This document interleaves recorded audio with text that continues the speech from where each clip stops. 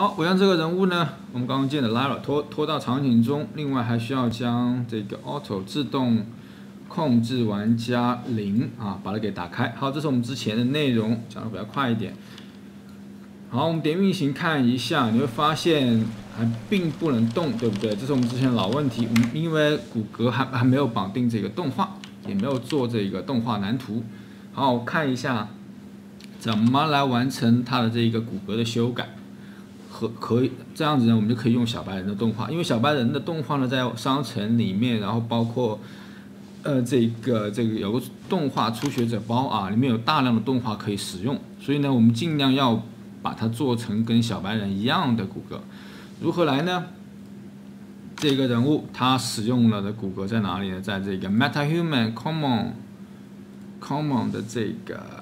Female 里面，Female 啊。Female 里面的这个 medium 中等身材，normal body 好，所有的人啊，这里面的所有的人物都其实都是共用这一个骨骼。我们把这个骨骼打开，可以通过这个角色骨骼所有层级，把这个所有层级打开，可以看到它的骨骼啊。然后我们选择重定向管理器。然后在重定向管理器里面，这里有个选择绑定，选择人形绑定，然后将啊呃这个是小白人的骨骼啊，但是呢这个 MetaHuman 的骨骼有一点点不同，我查了你看那个官方的资料，这不同就是它的这个 Spine 一要对应的 Spine 二，然后这个对应 Spine 三，然后这个要对应 Spine 四，这个是唯一的不同啊，其他地方都一样的。而且这一个 MetaHuman 的骨骼呢，它会比较复杂，就是每一根手指，然后包括脸部有更多的这一个关节，所以，呃，这个地方只需要改二三四，一二三对应的二三四啊，就就 OK 了。那我们保存一下。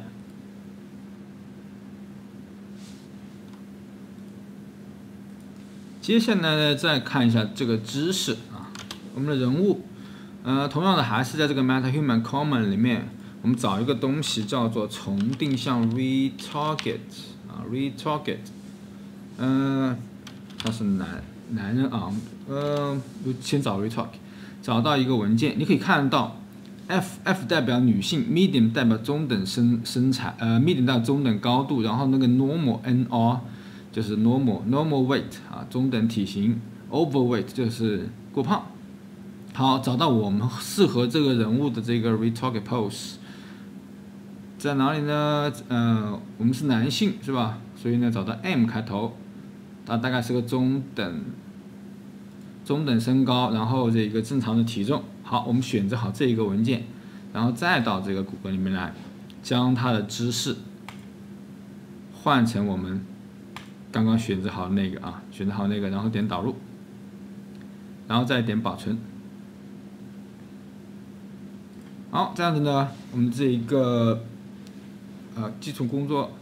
我们再点保存，然后再做一件事情啊，就是再看一下这一个骨骼的，嗯，刚刚把它关掉了，在这个 Human Normal Body 里面，再次打开这个骨骼啊，在这个骨骼里面呢，我们看一下这个骨骼数，另外呢，把这一个叫做什么呢？显示从定向选项把它给打开，需要改一样东西，就是把这个 pelvis 底下所有的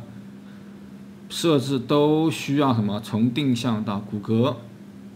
啊，所有东西都变成骨骼之后，然后把这个 pelvis 改成动画。好，这个步骤很重要啊，要不然我们就没有办法正常的用这个小白人的动画了。好，全部搞定之后，我们再点保存。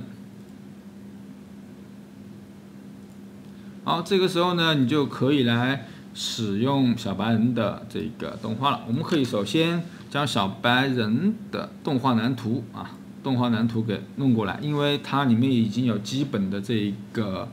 呃走路，然后包括跳的一些蓝图了。我们把它定向过去啊，在这个 Manicure